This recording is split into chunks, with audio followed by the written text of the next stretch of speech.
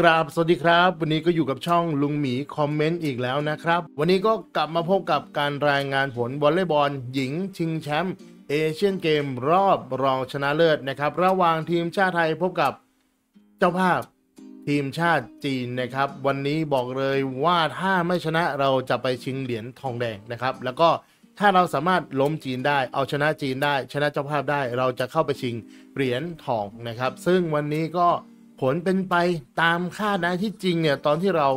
ดูกันอยู่นะทุกคนบอกเลยนะครับว่าไทยมาเหนือนะ เล่นดีมากเลย โดยเฉพาะเซตแรกนะครับนำจีนไปถึง 7 แต้ม 7 แต้มจริง ๆ ทุกคนนะครับ แต่เหมือนเดิมเหมือนเดจาวูนะที่แข่งกับญี่ปุ่นเมื่อวานเลยนะครับ ก็คือนำเยอะแต่สุดท้ายโดนปาดหน้า ปาดหน้าเค้กเลยนะ ปาดแซงเอาดื้อๆนะครับ แพ้ไป 25 ต่อ 21 คะแนนนะครับ โอ้โห แทบแบบล้มทั้งยืนนะครับ เซตนี้เนี่ยจะเห็นได้ชัดก็คือจีนเนี่ยเริ่มนะครับเขาเจาะตรงเพียวเนี่ยประมาณ 2 แต้มเต็มๆนะครับกว่าโค้ชจะรู้ตัวก็เปลี่ยนวิภาวีลงมาไม่ทันแล้วนะครับ แต่ก็วิภาวีลงมาทำไป 1 แต้มนะครับ แพ้ไปนะครับ 25 ต่อ 21 คะแนนนะทุกคน ต่อมาในเซตที่ 2 เราก็คิดว่า คงจะเละแน่ๆ เพราะว่าเซตแรกเนี่ยเรานำเยอะแล้วกลับมาแพ้นะครับ เซต2ไม่น่าเชื่อนะครับ น้องๆทุกคนเนี่ยร่วมใจกันโดยเฉพาะชัชชุออนวันนี้มาระเบิดฟอร์มเลยทำไปแบบคนเดียวนะ 21 แต้มนะครับ คือจัดหนักจัดเต็มเลย แต่ก็ไม่ไหวนะครับนำถึง 8 คะแนนกลับมาแพ้ได้ โดนจีนปาดหน้าอีกแล้วแซงทางโค้งแซงทางตรงนะครับผมโอ้โหไม่รู้จะแซงทางไหนละนะ เอาไม่อยู่จริง ๆนะครับ พ่ายแพ้จีนไปในเซตนี้ 23 ต่อ 25 คะแนนนะครับ เหลือจะเชื่อกันเลยทีเดียวนะทุกคน โอ้โห เหนื่อยใจแทนนักกีฬาจริง ๆ นะครับ เราไม่สามารถที่จะควบคุมสติตัวเองได้ หรือว่าควบคุมกำลังใจของเราเนี่ยให้สามารถ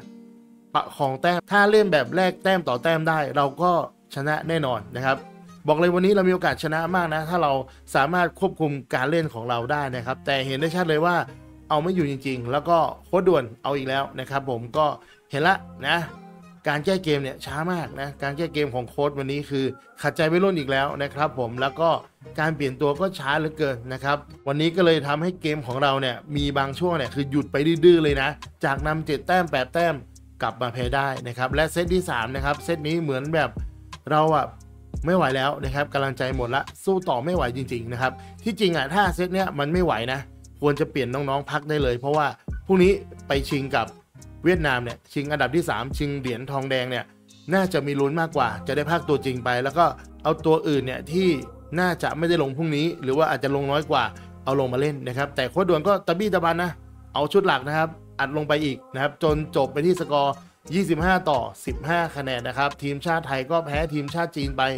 3 ต่อ 0 เซตนะครับ ผมโอ้โห ไม่ไหวจริงสู้เจ้าภาพ ไม่ได้นะครับ เหนื่อยจริง ๆ วันนี้จีนมาทวงบัลลังแชมป์กลับคืนแล้วนะครับ แต่ว่าจีนจะต้องไปชิงกับญี่ปุ่นนะ ว่าจะได้แชมป์หรือเปล่านะครับ แต่ดูจากการเล่นแล้วนะครับ ก็น่าจะสูสีกันระหว่างจีนกับญี่ปุ่นนะครับ อันนี้ก็ต้องไปรอเชียร์กันอีกทีหนึ่งนะครับ ใครอยากจะดูคู่นี้ก็เดี๋ยวรอติดตามเวลาการแข่งขันนะครับจากทางช่องได้เลยนะครับ แล้วก็วันพรุ่งนี้นะสำหรับสาวไทยเจอเวียดนามชิงอันดับที่ 3 นะครับ ตอนนี้เวียดนามประกาศ 9 แซงไทย เป็นราชินีอาเซียนคนใหม่นะครับ บอกเลยว่าตอนนี้เนี่ยเขาบอกว่าไทยเนี่ยแบบคือเจอตอนนี้อ่อนมากนะครับ ในสายตาของชาวเวียดนามเนี่ยบอกเลยว่าวันนี้เราจะล้มไทยนะครับ จะชนะไทย 3 ต่อ 0 เซตด้วยซ้ำไปนะครับ บอกเลยว่าตอนนี้เนี่ยในสายตาของ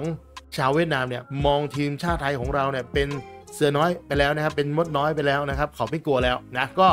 ว่ากันอีกทีหนึ่งพรุ่งนี้เจอกันนะครับว่ามดน้อยเนี่ย จะกระโดดกระทืบเวียดนามได้หรือเปล่านะ เราก็มาลุ้นกันอีกทีนะครับผมสำหรับพรุ่งนี้นะครับ ใครที่อยากจะดูทีมชาติไทยพบกับเวียดนามก็แข่งขันในเวลา 13 นาฬิกา 30 นาทีนะครับ สามารถรับชมได้ที่ช่องทาง Workpoint 23 PPTV HD 36 แล้วก็ AIS Play นะครับ สามารถไปดูกันได้นะครับ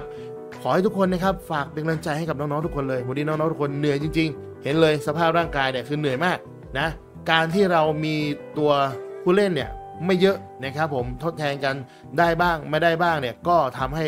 คนที่เล่นได้เนี่ยหรือว่าเล่นเสถียรที่สุดเนี่ยเหนื่อยมากนะเพราะว่าจะต้องพยายามยืนเป็นตัวหลักให้ได้นานที่สุดนะครับดังนั้นก็ต้องบอกเลยว่าสภาพร่างกายของแต่ละคนเนี่ยอ่อนล้าจริงๆนะครับแต่ไม่เป็นไรนะครับหลังจากจบการแข่งขันเอเชียนเกมแล้วนะครับน้องๆทุกคนเนี่ยจะออกไปเก็บประสบการณ์ กับลีกญี่ปุ่น และลีกเกาหลีใต้นะครับผมบอกเลยว่าลีกญี่ปุ่นหลายคนที่ไปเนี่ยน่าจะได้เรื่องการรับบอลนะครับบอลแรกเนี่ยของเราเนี่ยที่มันเสียบ่อยๆนะอาจจะดีขึ้นนะครับเพราะว่ารอบนี้เนี่ยเราไปเล่นลีกนอกเนี่ยเยอะมากนะสิบกว่าคนเลยนะครับ มีมาเรื่อยๆนะตอนนี้ก็เริ่มเปิดตัวตัวละครลับของเราที่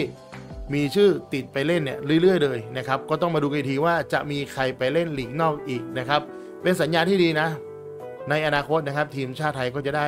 มีผู้เล่นที่สามารถทดแทนกันได้นะครับ จะไม่ได้เหนื่อยแบบนี้อีกแล้วนะทุกคนก็ต้องขอให้ทุกคนนะครับ ไม่ว่าเราจะแพ้หรือชนะก็ฝากเป็นกำลังใจให้กับน้องๆด้วยนะ วันนี้เห็นเพียวร้องไห้แล้วคือเศร้าตามเลยนะครับ คือ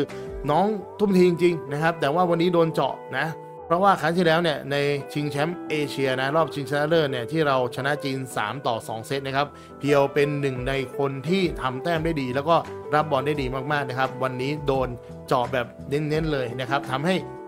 เพียวเนี่ยเสียใจมากที่ไม่สามารถช่วยทีมได้นะครับไม่เป็นไรนะครับ อยากให้ทุกคนเนี่ยฝากคอมเมนต์เป็นกำลังใจให้กับน้องเพียวกันด้วยนะครับ แล้วก็เป็นกำลังใจให้กับสาวๆนักตบทีมชาติไทยของเราทุกคนเลย วันนี้ชาติออนก็แบบทุ่มเทนะ แต่ก็ไม่ไหวจริง ๆ นะครับ